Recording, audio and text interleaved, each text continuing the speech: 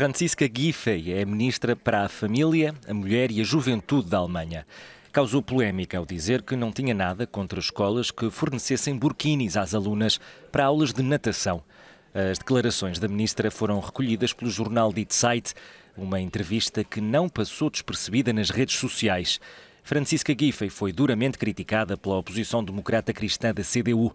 A polémica surge depois de uma escola ter decidido fornecer burquinis às alunas de confissão muçulmana que vissem no uso de fatos de banho um obstáculo às aulas de natação.